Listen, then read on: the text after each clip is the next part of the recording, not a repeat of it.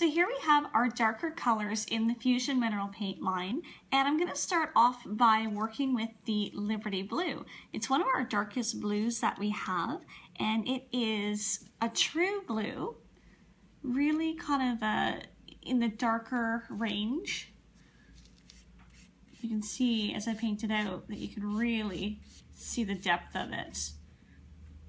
Much darker than um, any of our other blues that are in the line, such as the Champness, which is kind of your sky blue. This is really that true deep navy. That's our Liberty Blue. One of the other ones we have is our Homestead Blue, and this is deceivingly gray in tone, and you can really see that when you start to paint it out side by side against the Liberty Blue. You can really see how that Liberty Blue is that true blue whereas the Homestead Blue in direct comparison has a lot more gray in it and a lot more of that green. Now next, one of our most popular colors is ash, and it is sort of a take on a charcoal color, sort of a modern day charcoal, very popular in the line. And there you can see it side by side next to the Homestead Blue. You can see how dark it is in comparison. But what I'm gonna do is go ahead and put our truly darkest color in the line right next to it, just so that you can see the contrast and actually see how much lighter ash is. So here we have coal black. I love coal black because it's a true, pure jet black. Quite difficult to find this in many other lines of paint, but ours has that really nice rich depth to it.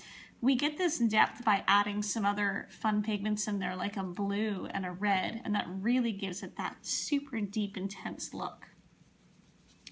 Now, one of our newest colors comes from the Michael Penney collection, and it is called Soapstone, and it really is reminiscent of a true natural soapstone.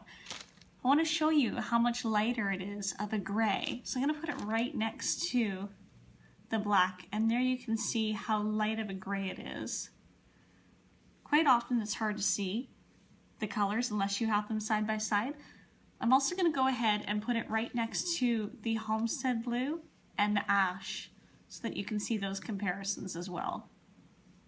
It's a much lighter gray, really soft and gorgeous. When it's dry, it actually has a little bit of a, a blue undertone to it. Um, so always test your colors, watch them dry and see if you like them.